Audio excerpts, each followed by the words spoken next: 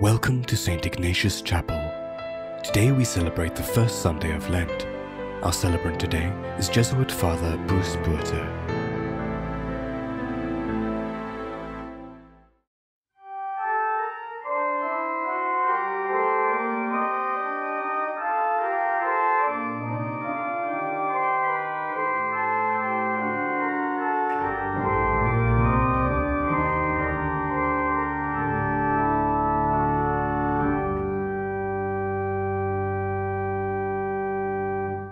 Name of the Father, the Son, and the Holy Spirit.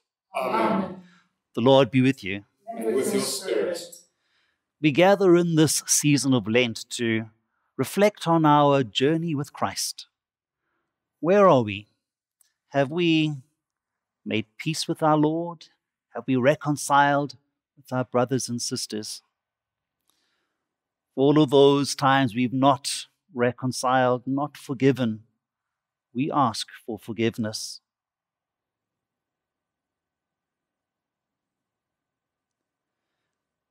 You came to heal the contrite of heart. Lord, have mercy. Lord, have mercy. You came to reconcile us to yourself and to one another. Christ, have mercy. Christ, have mercy. You came that we might have a new and abundant life. Lord, have mercy. Lord, have mercy. And may Almighty God have mercy on us. May He forgive us our sins and bring us to a new and everlasting life. Amen. Let us pray.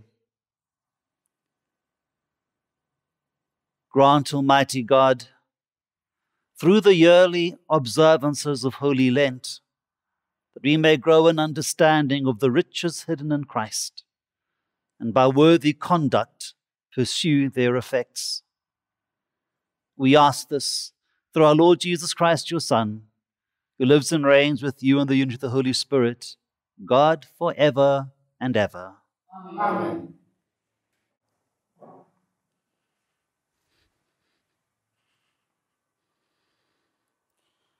A reading from the book of Genesis. God said to Noah and to his sons with him, Behold, I establish my covenant with you and your descendants after you, and with every living creature that is with you the birds, the cattle, and every beast of the earth with you, as many as came out of the ark. I establish my covenant with you, that never again shall all flesh be cut off by the waters of a flood, and never again shall there be a flood to destroy the earth. And God said, This is the sign of the covenant which I make between me and you, and every living creature that is with you, for all future generations. I set my bow in the cloud, and it shall be a sign of the covenant between me and the earth. When I bring clouds over the earth, and the bow is seen in the clouds, I will remember my covenant which is between me and you, and every living creature of all flesh, and the waters shall never again become a flood to destroy all flesh. The word of the Lord. Thanks be to God. All your paths, O Lord, are mercy and faithfulness for those who keep your covenant. All your paths, O Lord, are mercy and faithfulness for those who keep your covenant. O Lord, make me know your ways. Teach me your paths. Guide me in your truth and teach me, for you are the God of my salvation. Pass, O Lord, are mercy and faithfulness for those who keep your covenant. Remember your compassion, O Lord, and your merciful love, for they are from of old. In your merciful love, remember me, because of your goodness, O Lord. All your paths, O Lord, are mercy and faithfulness for those who keep your covenant. Good and upright is the Lord. He shows the way to sinners. He guides the humble in right judgment. To the humble, he teaches his way. Of, O Lord, mercy and faithfulness for those who keep your covenant.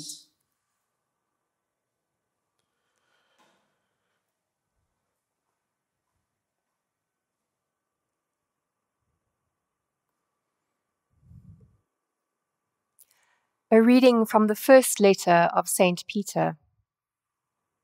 Beloved, Christ died for sins once for all, the righteous for the unrighteous, that he might bring us to God, being put to death in the flesh, but made alive in the Spirit, in which he went and preached to the spirits in prison, who formerly did not obey when God's patience waited in the days of Noah during the building of the ark, in which a few, that is, eight persons, were saved through water.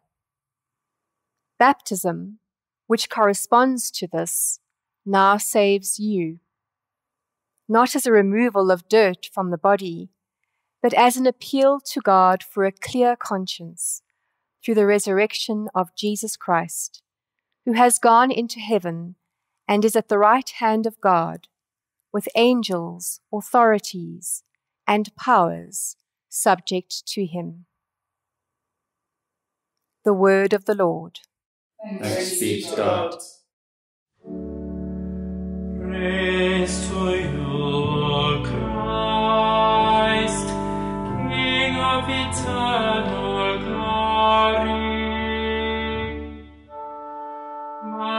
shall not live by bread alone, but by every word that proceeds from the mouth of God.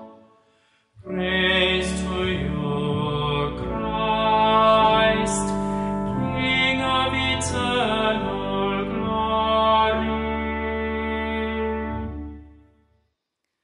The Lord be with you. And with your spirit. A reading from the Holy Gospel according to Mark. Glory to you, At that time, the Spirit drove Jesus out into the wilderness. And he was in the wilderness forty days, tempted by Satan. And he was with the wild beasts, and the angels ministered to him. Now, after John was arrested, Jesus came into Galilee, preaching the gospel of God and saying, The time is fulfilled, and the kingdom of God is at hand. Repent and believe in the gospel. This is the gospel of the Lord. Praise to you, Lord Jesus Christ.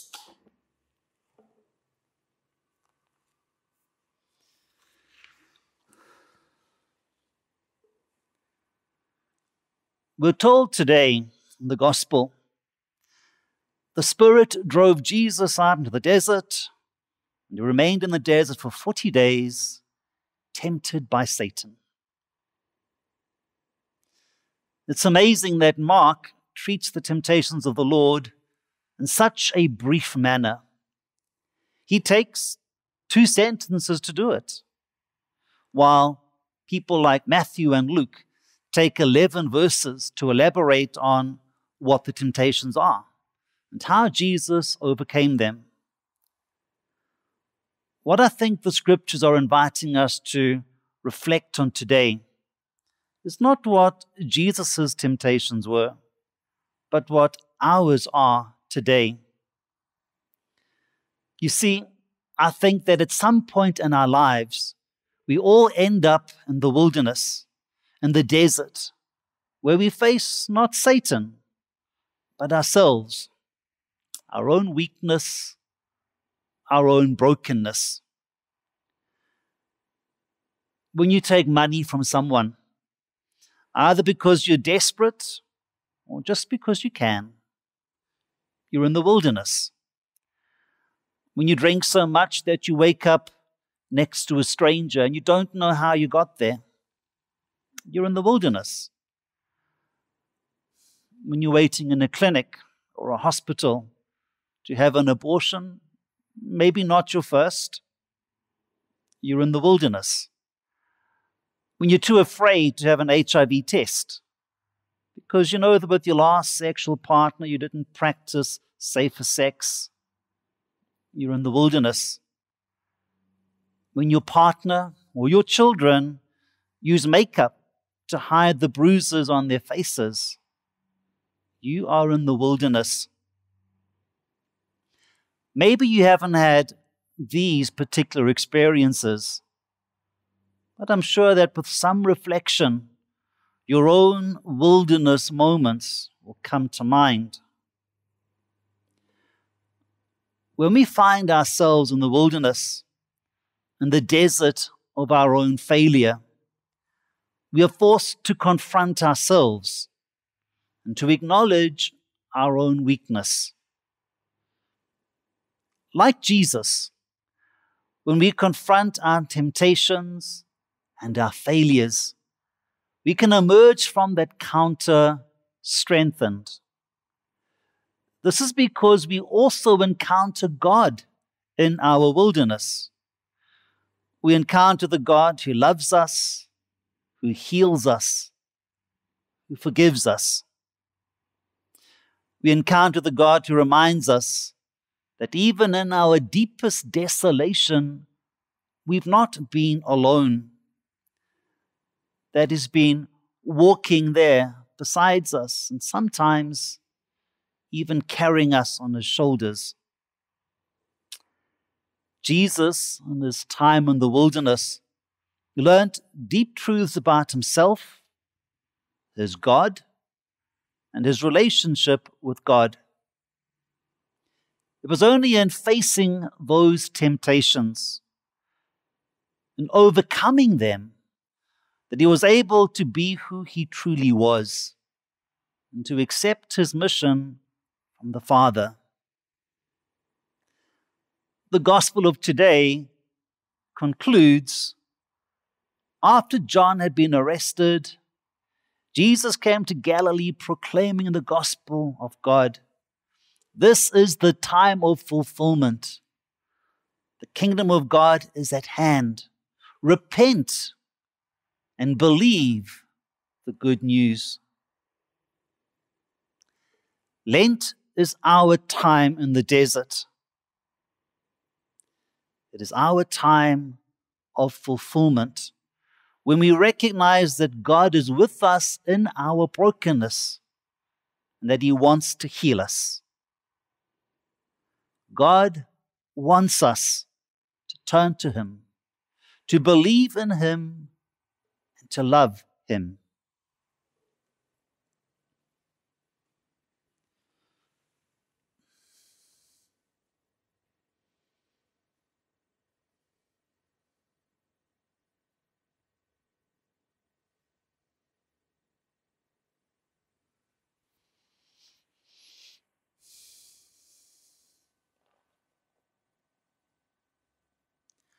Let us now together profess our faith in the words of the Apostles' Creed.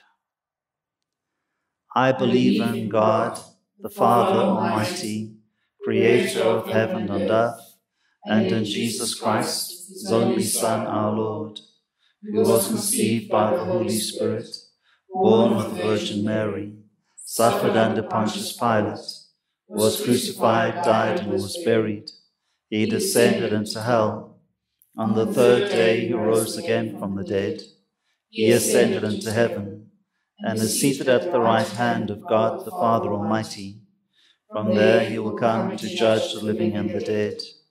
I believe in the Holy Spirit, the Holy Catholic Church, the communion of saints, the forgiveness of sins, the resurrection of the body, and life everlasting. Amen.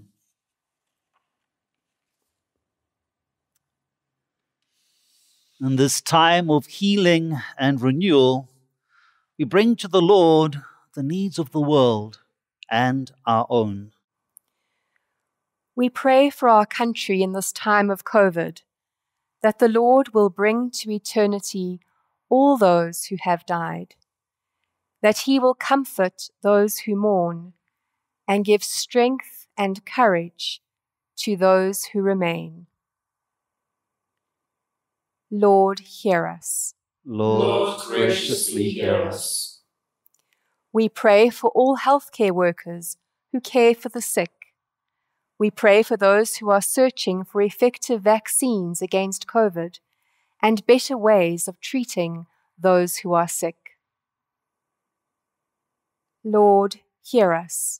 Lord, graciously hear us. We pray for an end to the scourge of corruption, that those who steal from the poor will face the consequences in this life and God's judgment in the next. Lord, hear us. Lord, graciously hear us. We pray for ourselves that we may have the courage to look at the wilderness moments of our own lives and the faith to place them in God's hands for forgiveness and healing. Lord, hear us. Lord, graciously hear us. Lord God, in our weakness and in our need, hear our prayers.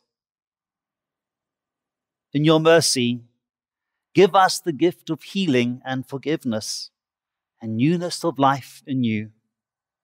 We ask this and all our prayers through Christ our Lord. Amen. Amen.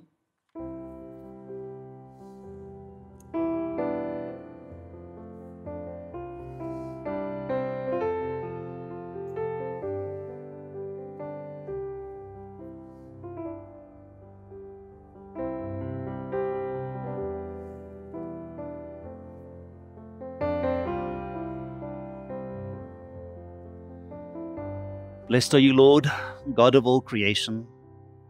Through your goodness, we have this bread to offer, fruit of the earth and work of human hands, that become for us the bread of life. Blessed be God forever.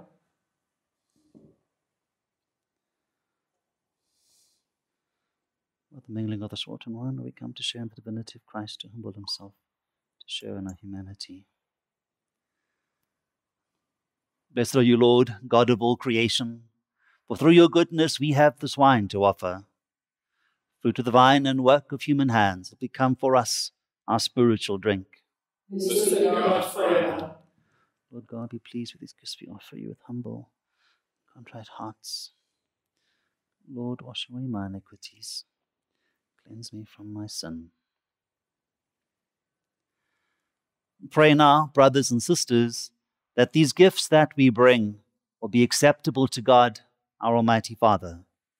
May the Lord accept the sacrifice at your hands, for the praise and glory of God's name, for our good and good of all God's holy church. Give us the right dispositions, O Lord, we pray, to make these offerings. For with them we celebrate the beginning of this venerable and sacred time. We ask this through Christ our Lord. Amen. The Lord be with you. And with your spirit, Lift up your hearts. lift them up to the Lord. Let us give thanks to the Lord our God. It is right and just. It is truly right and just, our duty and our salvation, always and everywhere to give you thanks, Lord, Holy Father, Almighty and eternal God, through Christ our Lord. By abstaining forty long days from earthly food, he consecrated through his fast the pattern of our Lenten observance, and by overturning the snares of the ancient serpent, taught us to cast out the leaven of malice, so that celebrating worthily the paschal mystery, we might pass over at last to the eternal paschal feast.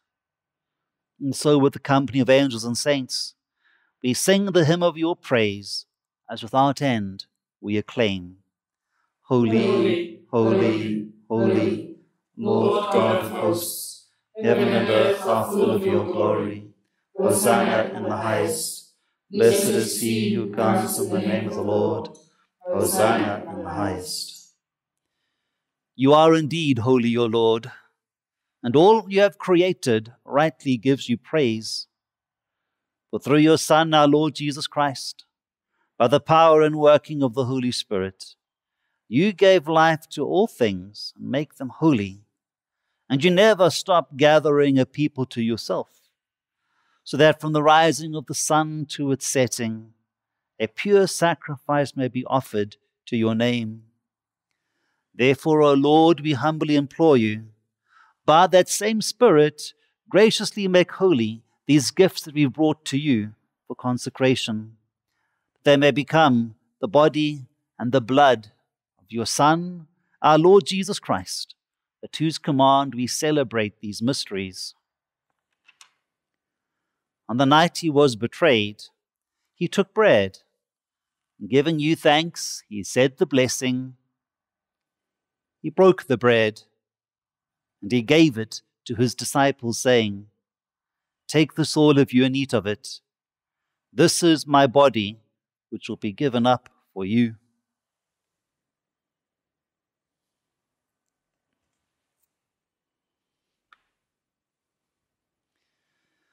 When supper was ended, he took the cup filled with wine, and again, giving you thanks and praise, he said the blessing, and he gave it to his disciples, saying, Take this, all of you, and drink from it. This is the cup of my blood, the blood of the new and everlasting covenant. It will be poured out for you and for all people so that sins may be forgiven.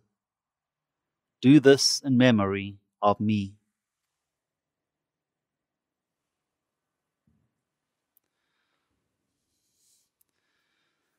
Let us now proclaim the mystery of our faith. We proclaim your death, O Lord, and profess your resurrection until you come again.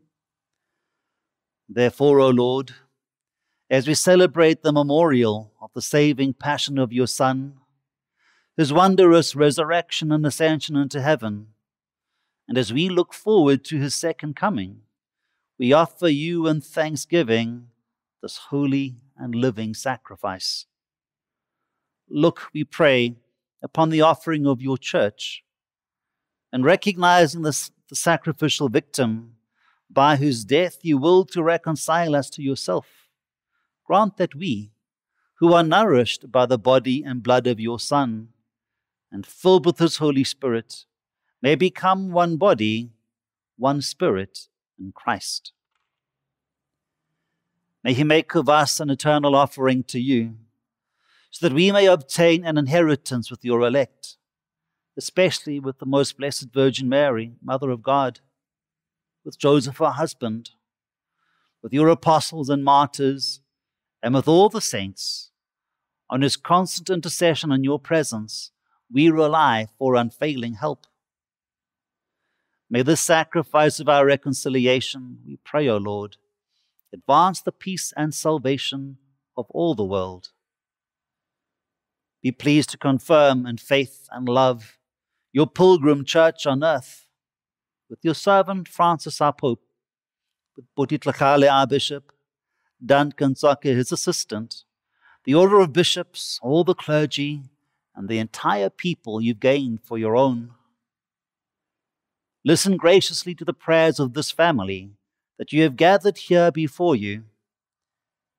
In your compassion, O merciful Father, gather to yourself all your children scattered throughout the world.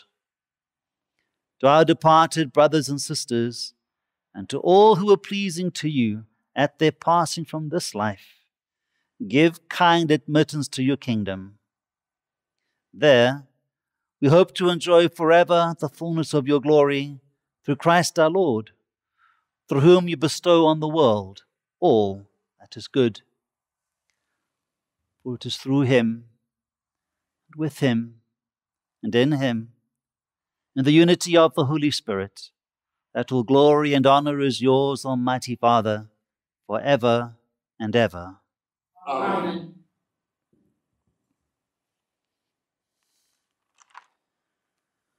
At the Saviour's command and formed by divine teaching, we dare to pray.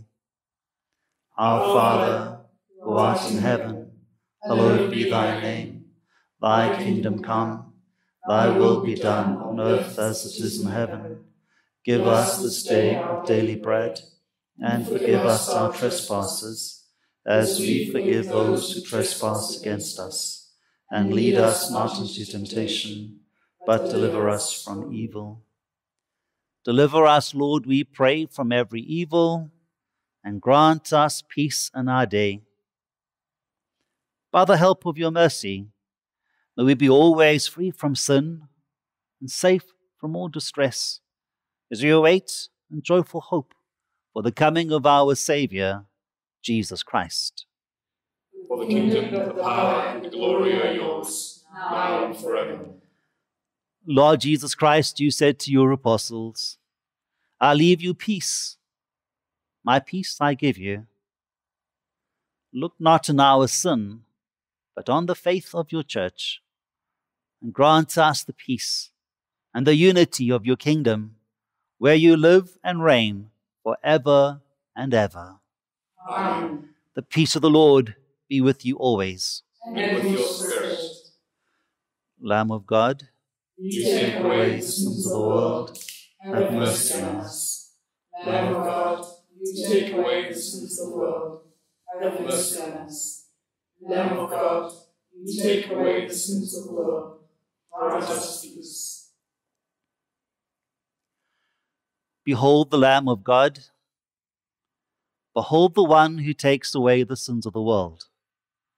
How happy are we who are called to the supper of the Lamb. Lord, Lord, I am not worthy that you should enter under my roof, but only say a word, and my soul shall be healed.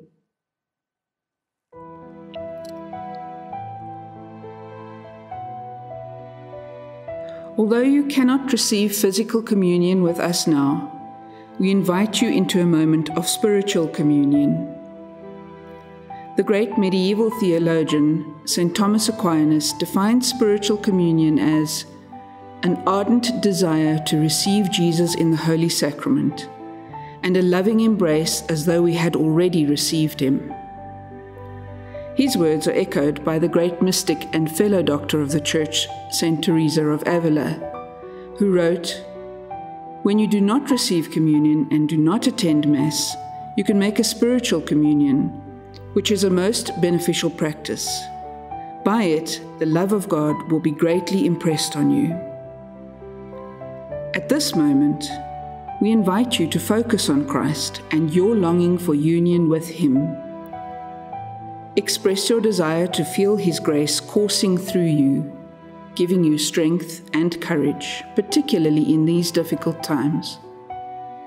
In your desiring union, you are united with us and to Christ.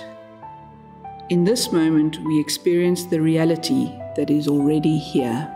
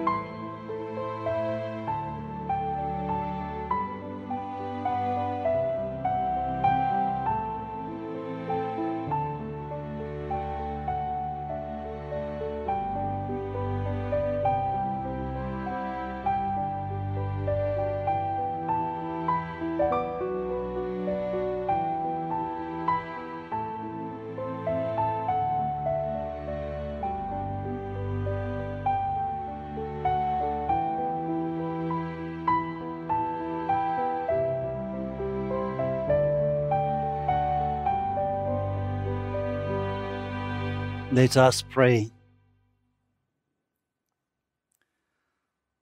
Almighty God, renewed now with heavenly bread, by which faith is nourished, hope increased, and love strengthened, we pray that we may learn to hunger for Christ, the true and living bread, and to strive to live by every word that proceeds from your mouth.